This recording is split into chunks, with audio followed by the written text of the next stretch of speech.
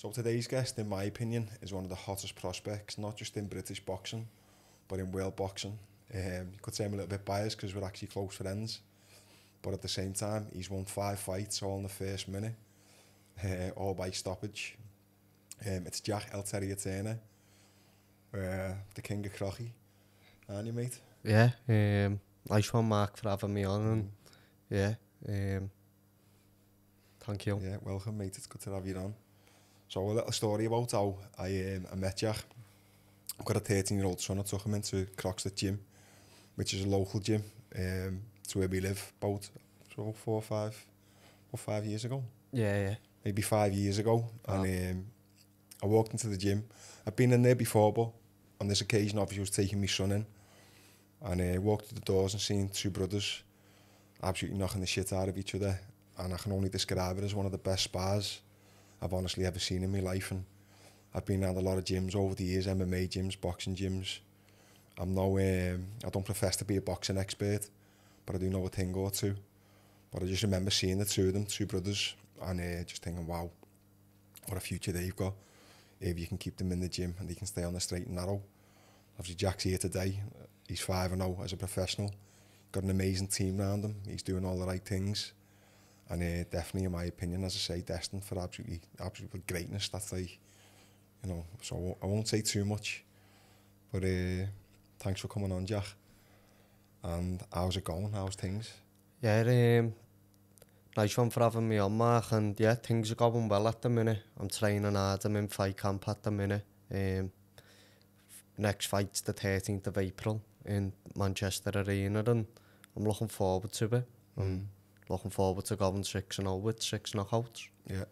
it's looking that way, isn't it? How are you finding yeah. getting sparring partners and things now? Um, ehm, it's been very hard at the minute. I've asked everyone for sparring. no one wants to spar me. Yeah. Um, so, yeah, I've spoke to my manager Scott and he's getting two Mexicans over to spar me. So mm. I'm looking looking forward to that because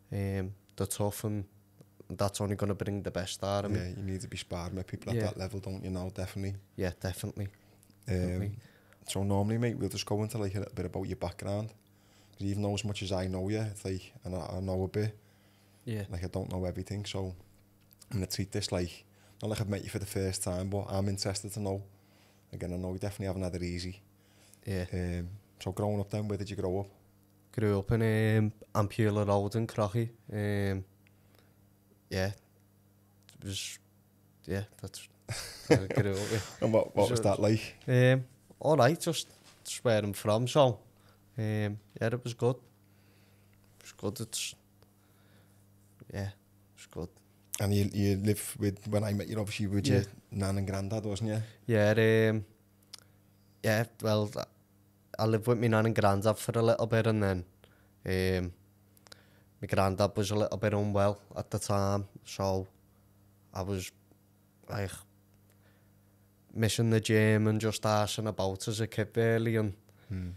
so my nan had enough of me and fucking chuck me out so yeah um, I had, I, I had a little couple of months after that just weren't training weren't, weren't really interested in doing boxing no more or just asking around and give with the wrong people really. But um, yeah, then I moved in with uh, my mate and just got back into the gym and um, got back on track. Yeah, just got back on track and got back into the boxing and yeah, it's, it's paying off now. Mm. I'm happy it changed we'll, my we'll, life around. We'll come back to that then in a minute. So then like growing up, yeah. like obviously being like being younger, you've got a brother, haven't you?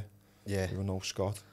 Any more siblings or is it just you and Scott? Um, Yeah, I've got um, another little brother, um, Harry, and I've got a little sister, Maggie, but different dads. Me and Scott have got the same dad.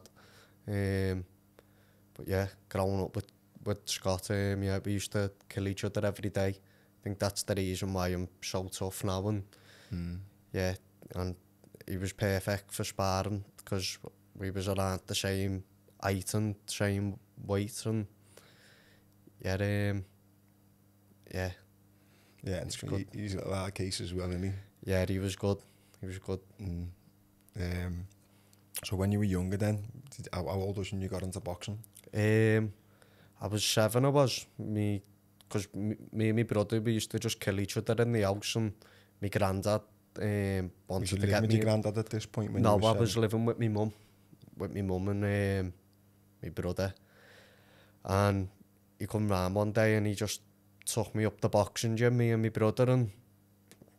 and we both enjoyed it. Mm. And every year, Monday, Wednesday, Friday, used to come round to us, take us to the gym, and um, since I've been seven, and just kept on going. And when he come round and I say, oh, I can't, can't be bothered, granddad, I don't want to go, he used to say, you're going up the boxing gym. So I had no choice really. Mm. So I just kept on going and paying off now. So do you feel I'm like happy. it's something what you you like you kind of fell? I would say fell in love with, but you enjoyed it from an early age, or is it something what like basically through your granddad making you go there? You kind of fell in love with it as you went along. Um, well, I've always enjoyed fighting and boxing, but I think if it weren't my granddad on my back, constantly saying, like, you're going to the gym, you've got to go.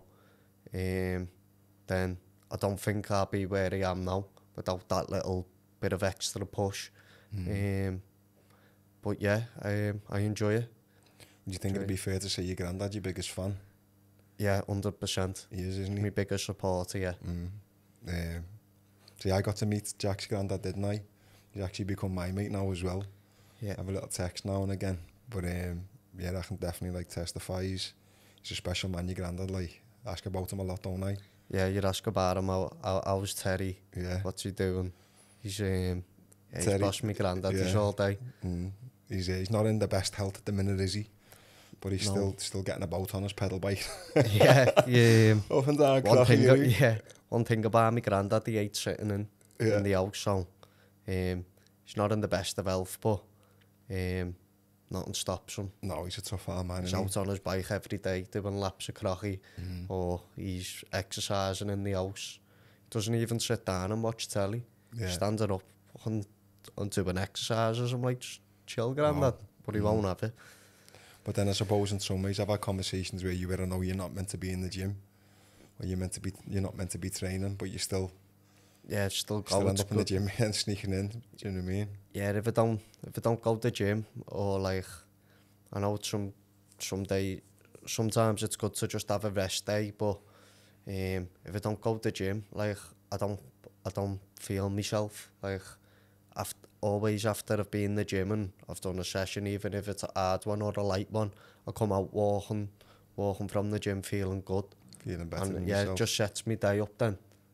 Like ach I've done something good. So what would a normal like day in the life of Jacklock like? Just on a standard like Monday to Friday with training and routine and stuff? Yeah, so I wake up, I'll have um, obviously my breakfast um, and then I go to the gym, the boxing gym. It's always the boxing gym of a, of a morning, about nine o'clock.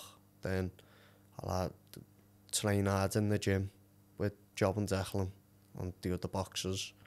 Come home, um, have a little sleep, jump in the shower and that, um, and then have a little bite to eat and then go back and do my second session then. It'll either be running, sprints or S&C, strength and conditioning, mm.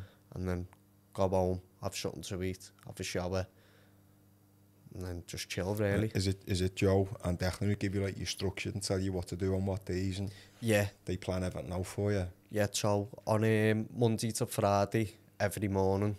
It's it's boxing, and then of a Monday, Wednesday, Friday, it'll always be a run.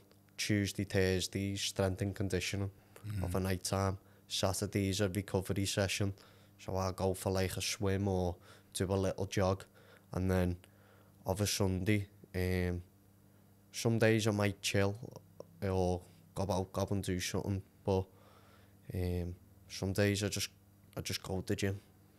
Just, just go and get a little session. Yeah. Not mad, but just little steam and sauna, little, little swim. but, but yeah, I feel good afterwards. How have you found making obviously the transition? Because from Crocky originally, aren't you? Yeah. Amateur. You had nearly what, 80, about 80 fights? Yeah. Thereabouts. Yeah. And then obviously going over to, did you go to any other gyms before you, you went with Joe and Declan? Yeah, um, so basically... You with Danny Vaughan for a little bit, didn't you? Yeah, I was up in Scotland um, with with Danny Vaughan, Dominic Vaughan, um, sgol mrad o dy gyms um, ehm, sy'n yw wanted to be with. Mm. Um, so obviously it's a, it's a tough, um, ehm, tough it's a sport. Decision, isn't it? It's a big decision who, who, who you decide to go with. So I went, um, went to Everton Red Triangle as well. Um, and then I went to Rotunda. And go to Manchester for a bit too. Yeah, I went to Manchester for a bit Who as well. That Um, he had um, forgot his name now. He was a good coach though, very good coach. Um, he had Terry Table.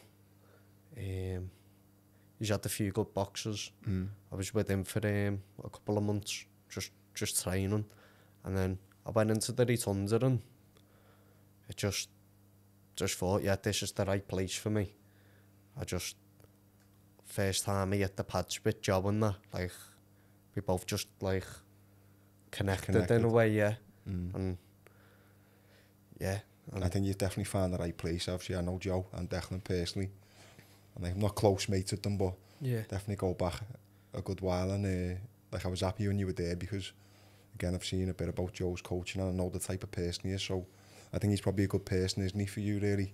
Yeah, he's Keep a good, good person. doesn't have no messing, does he? Yeah, no messing about. Um, got to turn up on time. Um, yeah, he doesn't you had to get in, put in the work, or mm. or don't turn up. So, but he's a younger coach as well, isn't he? So he's not yeah. like too set in. I know he's still obviously be learning himself.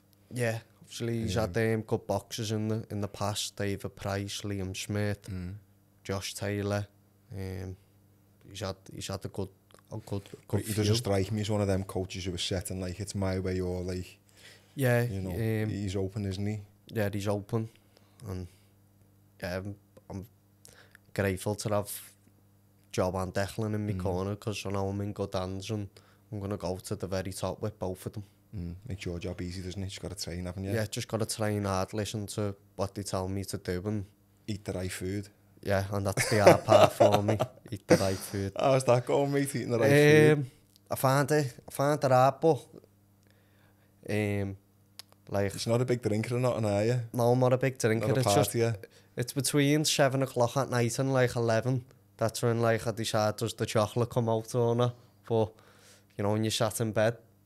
Yeah, I think but, that's where champions are made, mate. Between seven, between seven know, and eleven when it comes to diet. But at, at the minute, um, I've got a nutritionist. Um, mm.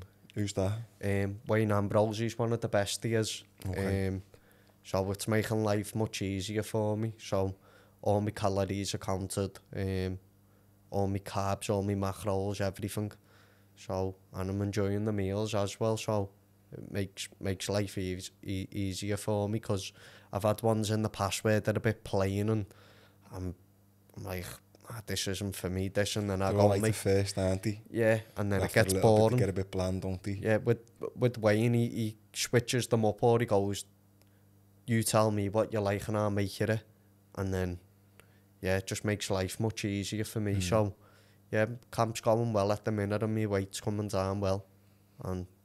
yeah, so, so in terms of, like good. support, boxing based with your diet and all these things, your coaches, you've got everything like in a good place with that. But like something I'd like to talk about is the support what you get from the other people as well. And obviously Scott, your manager and the mate of mine. Yeah. And like in all honesty, if you don't get many people who are that willing and that invested in someone, in my opinion, for, who doesn't really not in in turn, he just wants to see you, you do well, doesn't he? But I think there's so many people, including like the lads from Crochy, like, you know, you go to the shows and all that, there's like so many kids, even from my experience going to the shows, they all come to watch you. You know, I know there's other people there and they, they're a fan of everyone, but like it was always your name You were there from like locally and from the gyms and the kids and things like that. It's like you've got like a good following, haven't you? Yeah, um, well, yeah, well, by ours, everyone gets behind each other, so mm. someone's doing something, like, someone's doing well, like, everyone will get behind, and the support that I've had since I've turned professional is unbelievable. Mm. Like, I didn't expect it. Like, like, when I was fought in the Echo Arena, like, got, got loads of kids screaming, Jack. Yeah. All, like, and your shoulder it's had a ticket, didn't you, for your debut, obviously with the help of Scott and things like that. Yeah, and um, yeah, I couldn't ask for um, a better manager really. He asked, doesn't take no money off me. Um, he doesn't ask for nothing. Um, and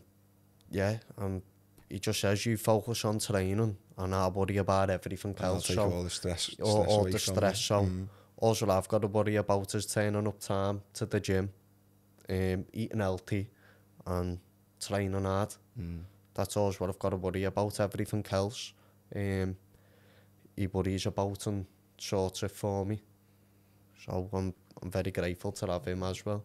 So if we rewind before all that then, because obviously I know a little bit about you, Risty, what was it like growing up? Was it was it hard or was it easy or? Um, yeah, I wouldn't.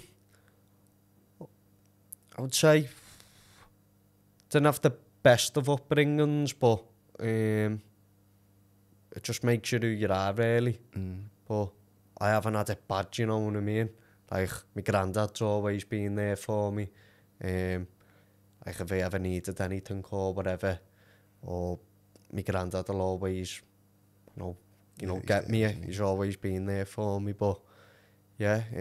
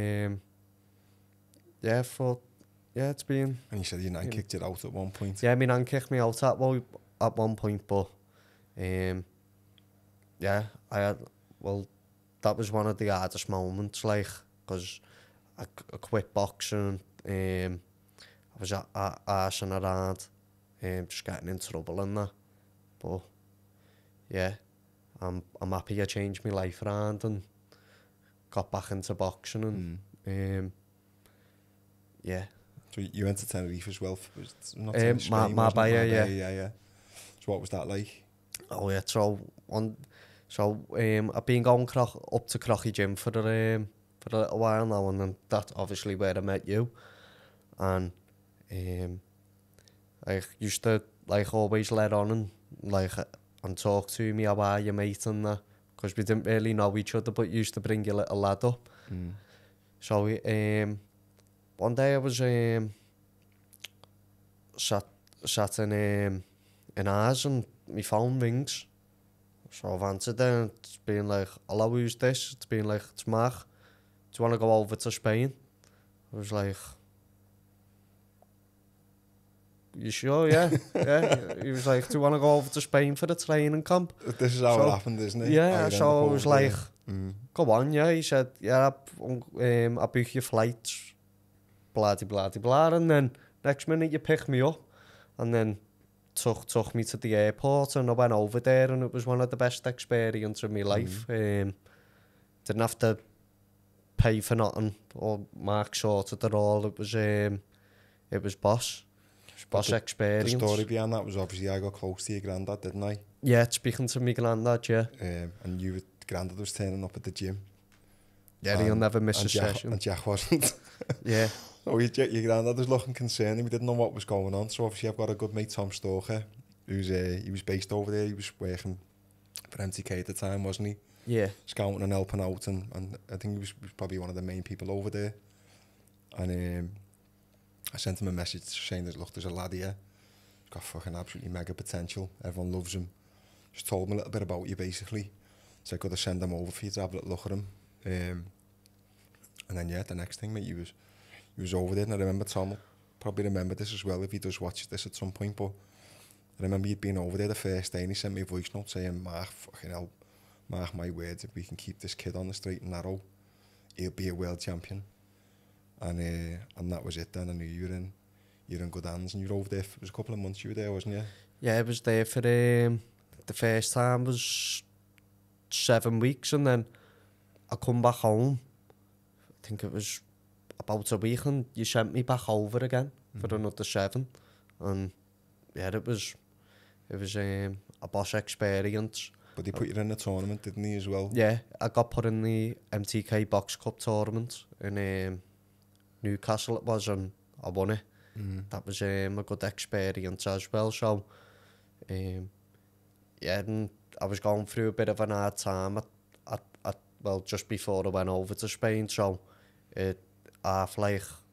open open my eyes up to it's more it's more to it's the more world. To it's more to life and more to the world than just sat outside the shop ass and about, you know what I mean, getting nowhere. So um yeah, it was I couldn't I couldn't thank you enough for, for what you did for me. So mm. nice one, Mach. I'm not you've said that, haven't you? Yeah. Plenty times anyway, but I think uh, it's good for the likes of yourself, especially young lads, to get out there and actually see like what an opportunity with the talent what you've got. Like I'm the reason why why you're on here is because every not just me, everyone's got so much belief in you. I actually believe like there's certain people who are just put here to do one thing and nothing else. And I think that you've for me you found your thing that the, the conversations what we've had anyway. I couldn't see you doing anything else.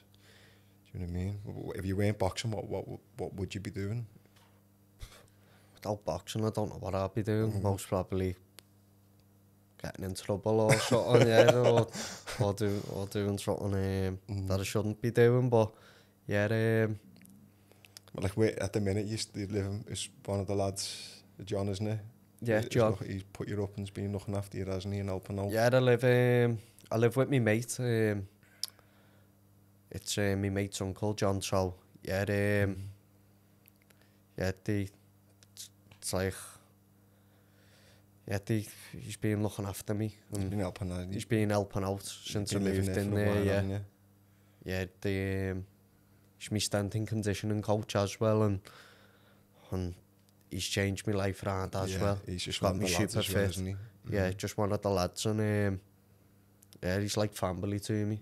Mm. And yeah, um, like a big thing with I I'm like big over, like say, we're all a product of our environment. Yeah. Like the position you're in now is you are a product of your environment, but in the sense that your environment, the people there are all coming together basically to support you and back you. As you said before, it's like in the likes of Crockstead and that sometimes people looking from the outside can think they're not the best areas, but if you wanted their own and you show some potential and you know that you can actually do something with yourself, everyone's actually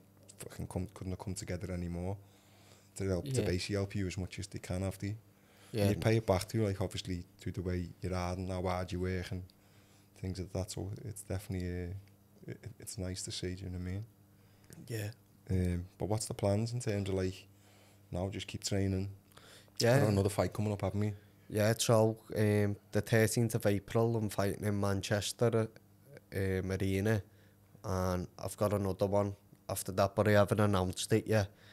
Uh, but it's on the Peter McGrail undercard. Um, in the where is it again? It's next door to the M&S Arena. Oh, okay. Um, the conference centre? Yeah, yeah, that's it. So, yeah, I'm looking forward to that. What date's that? The 27th of April. Is it? So... You've been active, haven't you? Yeah, I've had... Um,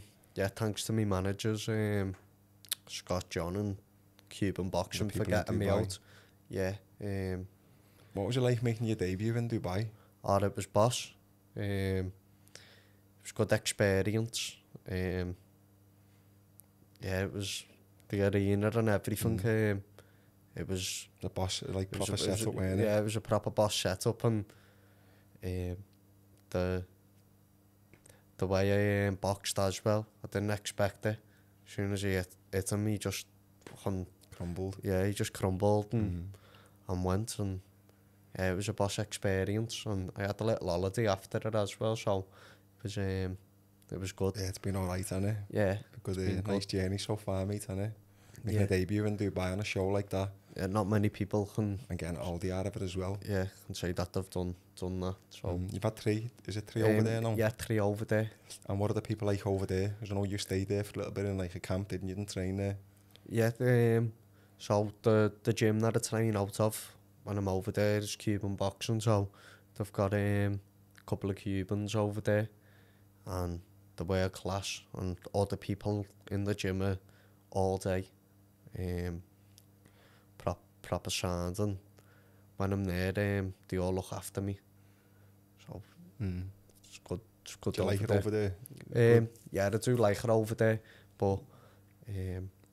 I like the training over here better. It's more... Um, structured. It's more structured and um, sometimes it's too hot to go on a run outside or to do certain things mm -hmm. over there. But and then you find your own avenue with with Joe and Declan, obviously. And then there, who, who else is in the the gym? Um, so you've got Joe Declan, you've got John, um, the Cutsman. Yeah. Um,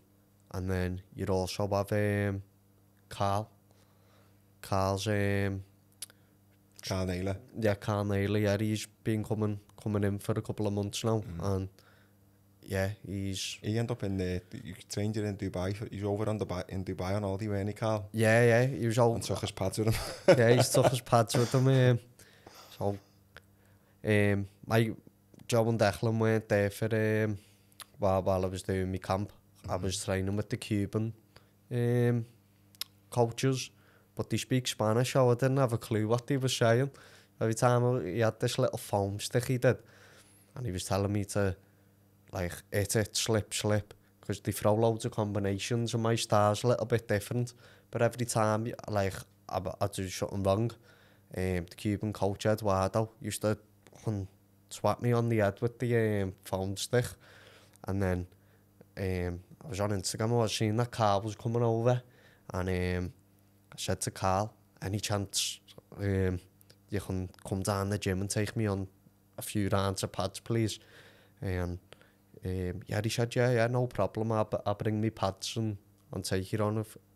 on um, some rounds mm. whenever.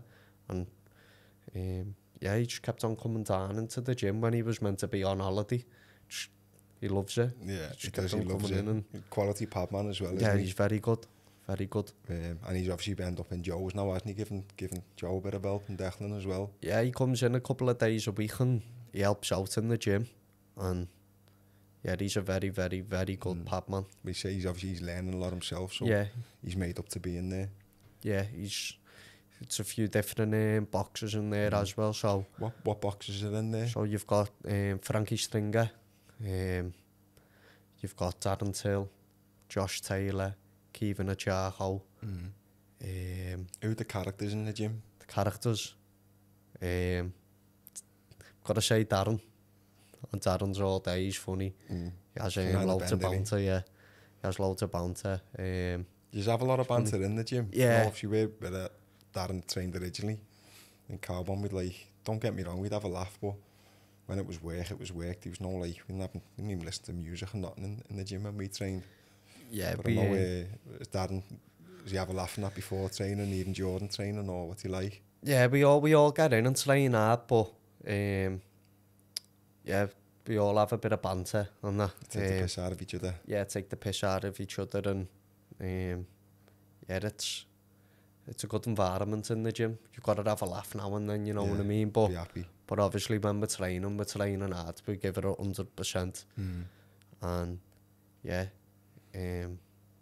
and who else is in there? So there's Frankie Stringer. Right. Kevin Acharhol. Um, then you've got um, Darren got myself, you've got Diane, he's um, a Cuban. Mm. You've got Herrera, he's another Cuban.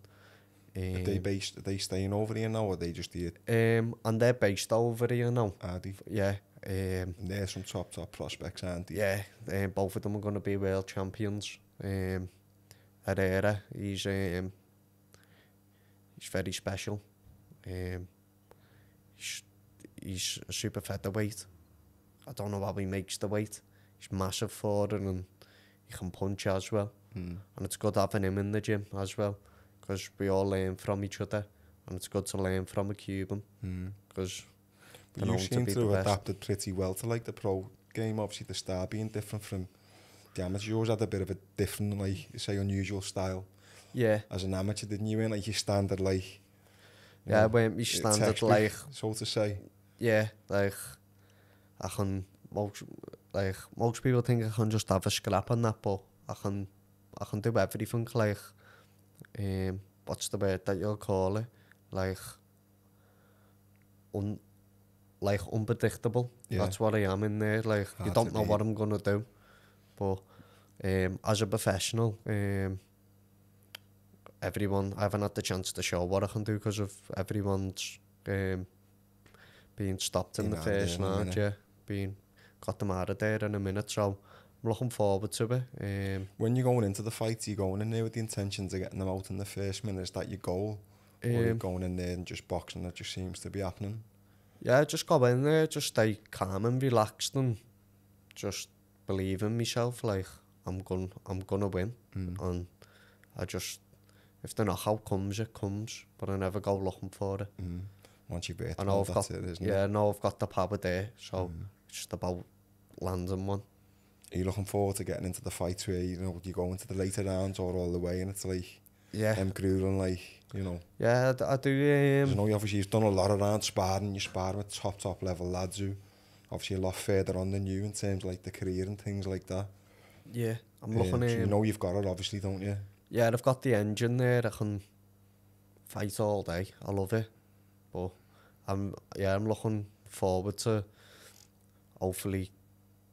soon, like someone you can give me them rants and I can show you what else I can do mm. in, in the ring. Instead of just knocking people out in the first lap. But um, if that still carries on, I'm happy. Like, if I can get them out of there under the minute. Yeah, but you don't feel any pressure? No, I don't feel any pressure. though. um, a win's a win to me. It's just about getting the win and getting the win in style. Mm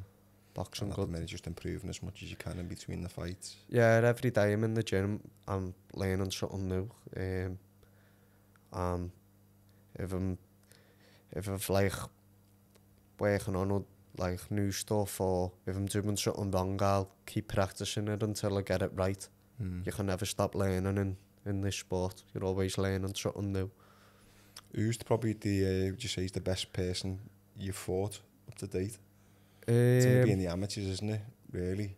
Yeah, in the amateurs. Is the any fight what really like stands out is like? Um, so, in the amateurs, I boxed the... Um, Was you have any rivalries in the amateurs? Anyone you boxed a couple of times? Um, I wouldn't say... No, not really, no. Um, but I boxed a lad um, from the Repton and It was in the finals, it was. Um, Barney Doherty, his name was. He was a traveller lad. And um, it was he it was a close fight it was but yeah he was most probably the best um he, yeah he he cut the net hard just one of them just hard to catch mm. I was just chasing him he was just tapping me on the foot and I was just chasing him kept on chasing him, but yeah, he was um, very good. Anyone you boxed in the amateurs who's gone on to, to like to actually be successful, to really get somewhere? Um, oh yeah, I boxed an American lad in um, Al Ireland in the Monkstown Box Cup. Dorian Khan, name was. And yeah, um, he's with Sam with Floyd Mayweather now and he's doing well at the minute. And I beat him in the final and yeah, he was very, he was very good. Mm. Had a very good um, style, but he had like, I think it was mad like 90, 90 fights and uh, hasn't been beat. So I was the first person to beat him as an amateur. So that was um, good.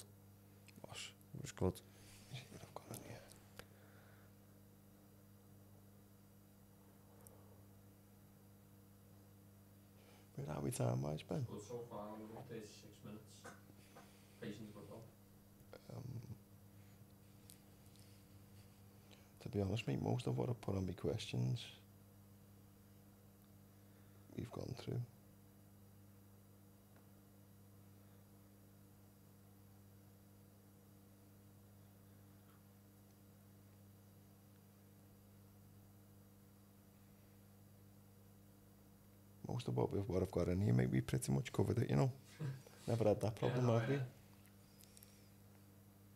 Bach nhw'n dod like that? Flying, yeah. We, st we still get another 10 minutes or 15 minutes out of it, but it's more like the things like, it's like your future then. It's like where like you see yourself and, you know, what are you, obviously you know the goal, just to keep fighting and getting as good as you can, but like in yourself, what, you know, where do you see, how far do you actually see yourself going?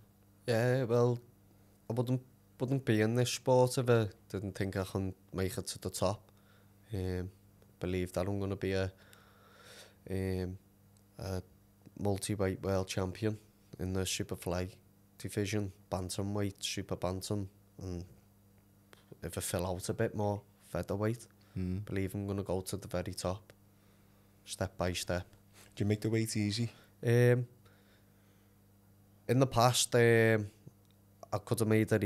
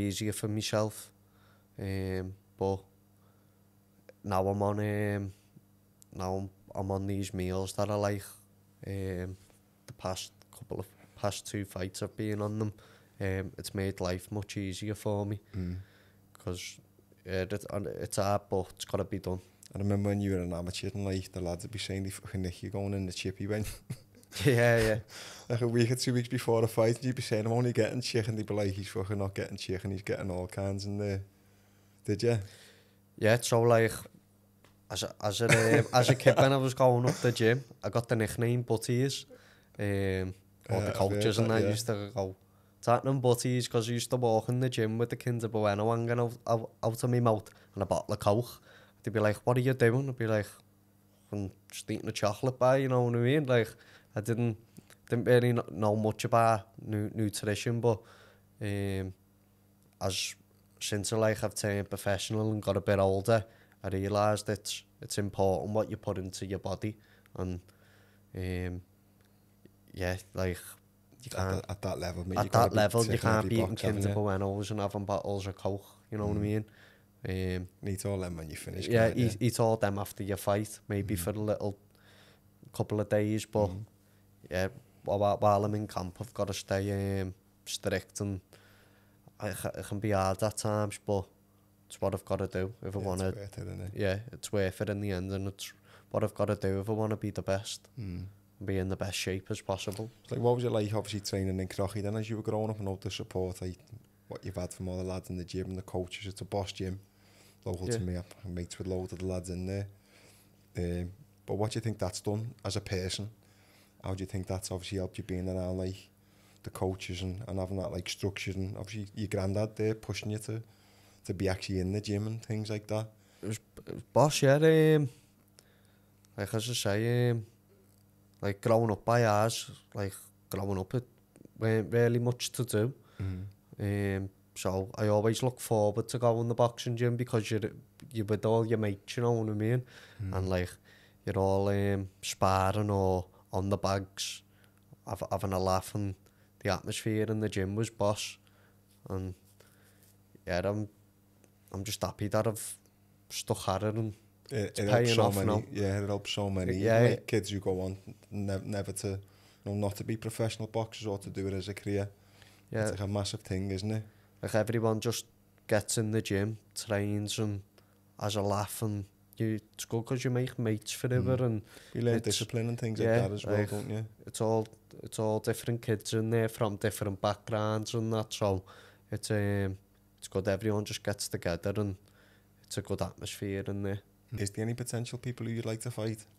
Yeah, well, um, where, where do you think? So you're at five and all oh now, soon yeah. to be six. At what stage do you think? I know it's, it's maybe not a, maybe not even you should be asking this question to, but you know, where do you see yourself starting to get them, like, you know, the title fights, British and things like that? How many fights off do you think you're at? Um, I just listened to me coach, um, like, and they decide opponent to fight, so say to me coach and that know, was our fight anyone, but it's about picking the right fights at the right time. And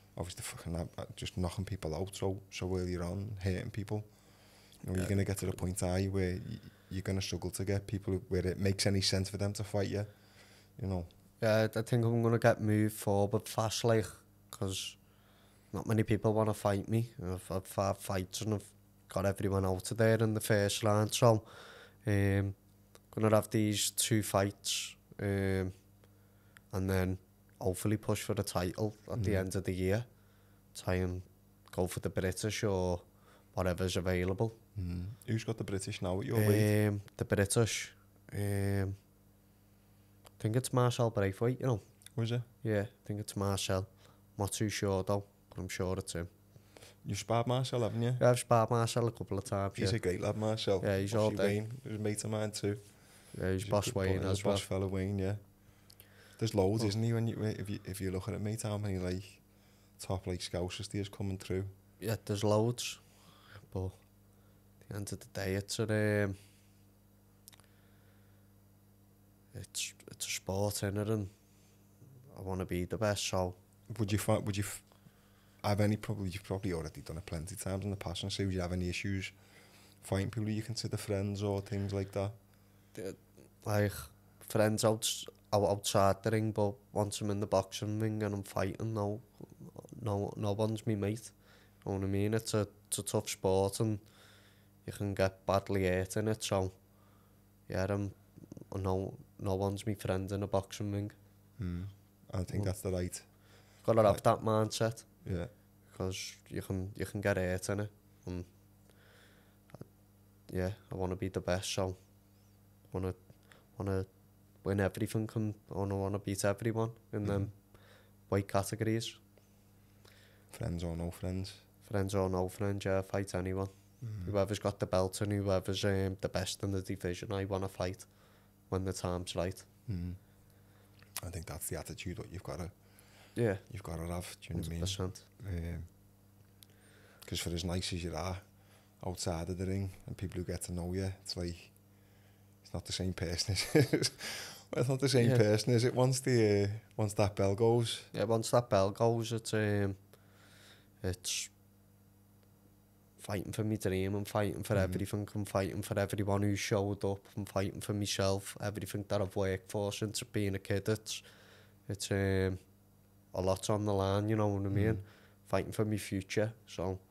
Um, yeah. Do you look at anyone or anyone who inspires you or used to say, you know, you're looking at anyone at the minute going, well, if they can do it then, you know. Yeah, um, like Nick Borg's doing really well, isn't he? Yeah, it's, it's loads of um, good, good, good fighters coming out of the city. Um, yeah, Nick Borg smashing it at mm. the hmm. minute. Believe that he, um,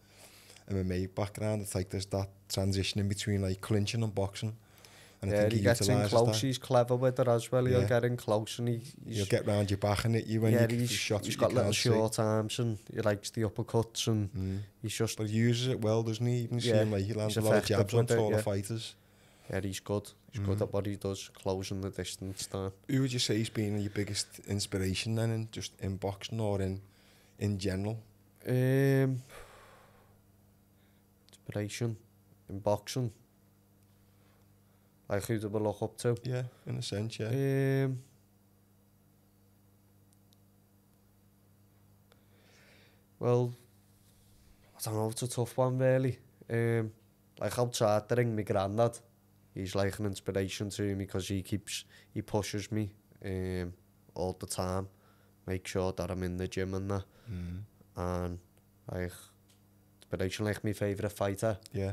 My favourite fighter, most probably I've got a few. I liked Floyd Mayweather, like Canelo. Is the only one you've ever watched and thought like mimic their style and all. I was quite nice to watch a lot of fights and study fighters and trying to adopt like their styles and use things which I'd see working for them. Especially like I try and pick like fighters with similar body, body type to me and see what was working for them, see if I could kind of pull it off when I was training and sparring. And the only one like that you kind of looked at and mirrored your style on? Or is it something what you just find naturally is like? Yeah, um, I liked um, Robert Alderon. Um, I liked his style. He was um, he was tough. Mm.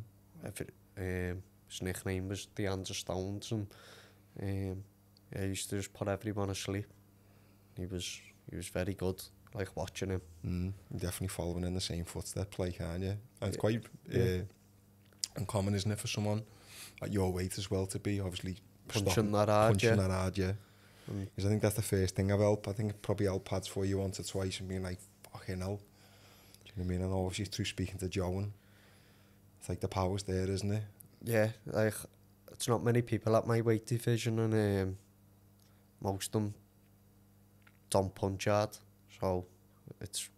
Do you think that's the, the, the main thing which, or the main, obviously you know you've got the boxing ability, but yeah. that's, the, that's the thing which, You've got which makes you stand out, or makes you different from most of the others? yeah, because the the papa that I have got and um, I know I've got only takes one punch. So do you think that's something you've learned or something you were born with? Um, get told in the gym. It's something that I'm born with, because I get told by um people who are, people who are even bigger than me who, who sparring and that getting out of the ring and saying, I don't know where that's just come from. You've got freaky power, you know, for the charge and me and the weight mm. the weight of me show. And yeah. Do you ever watch much in the Zim? Prince Azim, yeah, I liked him. He mm. was good. yeah, exciting, good star. Yeah, he was exciting, he? yeah. Um, he was good to watch.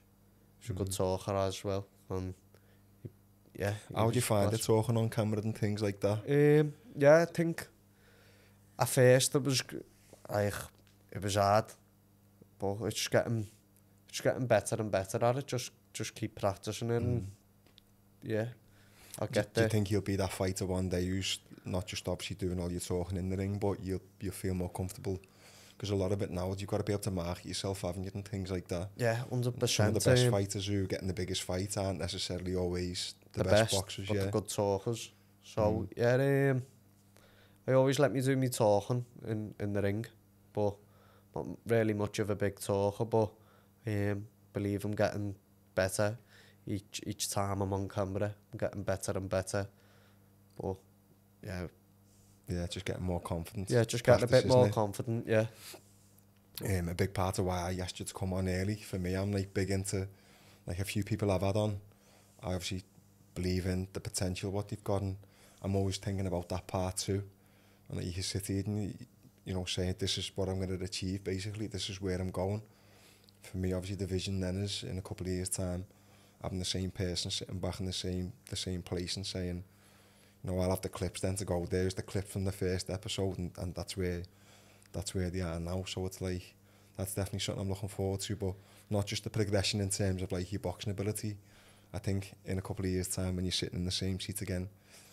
and you're talking, it'll be the development in actually how you how you can speak and things. I know for me, yeah. I'm fucking 12 podcasts in and I still shouldn't struggle struggled with it. It just took me probably five minutes to get the intro, and I fucking know everything yeah, about no. in terms of boxing. So I know it gets easier the more you do it. Um, but again, that's something what like there'll definitely be a part two at some point,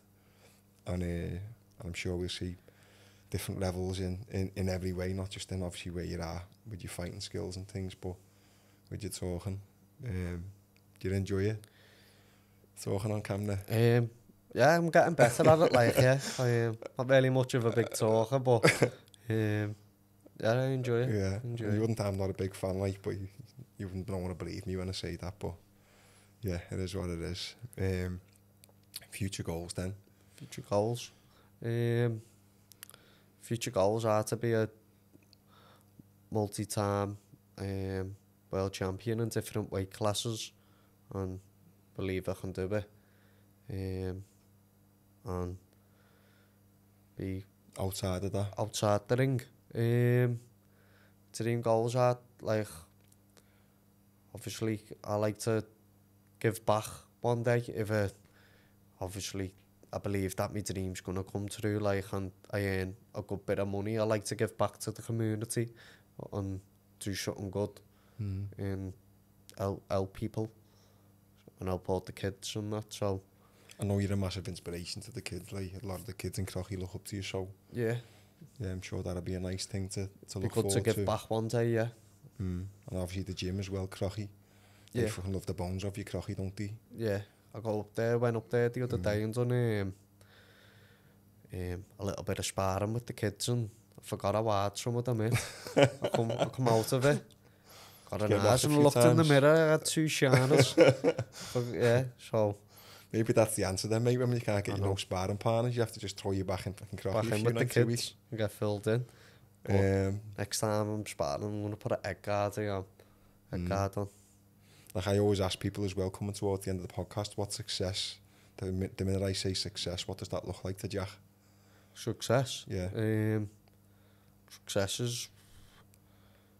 believing that you can, you can do it. Or success means Like, like just believe in yourself, believe, believe that you can do anything, that you can, you can do anything that you put your mind to it, and if you work hard and you really want it, you're going to do it and you'll be successful. Mm. So I believe. That's your definition yeah, of yeah, success. I believe everything happens for the reason, and if, if you want it that bad, you'll go and do it mm. and, and be successful with whatever you decide to do. What makes you happy? Um, happy when you're happy. Just when happy. be something dead simple. Doesn't have to be like, I'm, when's Jack happy? Um, to be honest, I'm happy all the time, but mainly when I'm in the gym or after I'm leaving the gym. That's when I feel happy. I feel good in myself.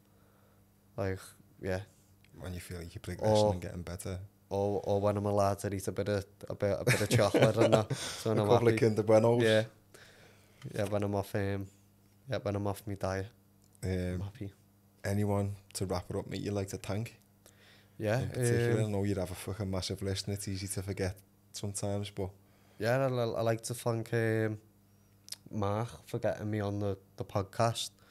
Um, want to thank all my sponsors as well. Um, frequency. Um, Hassan and Mark who sought me out and in frequency gear and it's good grip. What about the, the people who are obviously around you at the minute helping you? Yeah, um, I want to thank um, Scott John, um, my managers mm. for keeping me active and keeping me on track. Um, like family to me and support amazing yeah, isn't it, the got? support that they give me is amazing and they just say just focus on training and your boxing will worry about everything mm. else mm. um, so yeah the I'm thankful for them and um, thankful for Job and Declan um, to getting me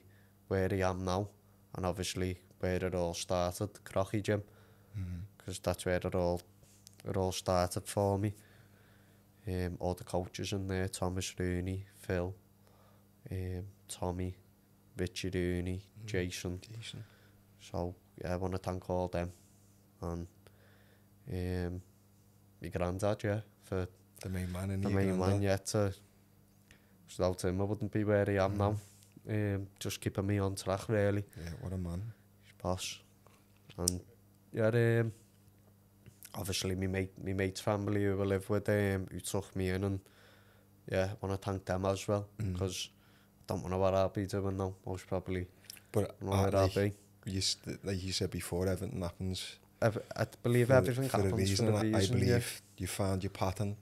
The reason there's so much support and so many people around you is because they know it as well. Like everyone yeah. around you knows, like like that's what you're put here to do. Yeah. Um, and you know if you stay on on the right track with your and you do all the right things, then it's done. It's going to pay off. Mm, it's going to. Yeah. If you believe, like if you've got a talent or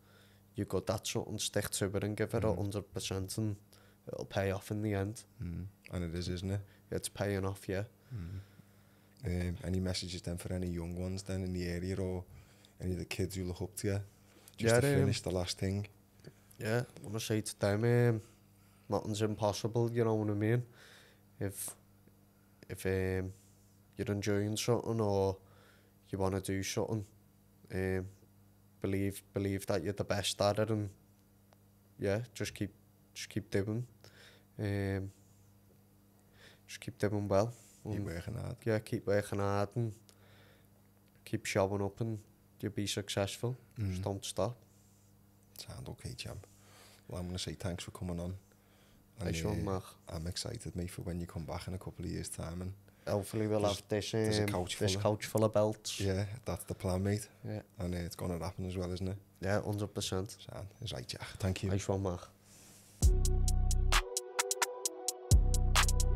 Today's episode is sponsored by Frequency Fitness, the UK's fastest growing premium activewear brand, and IC Insurance Liverpool, the leading insurance broker in the Northwest, offering competitive rates for all types of commercial, business, fleet, property, and public liability insurance.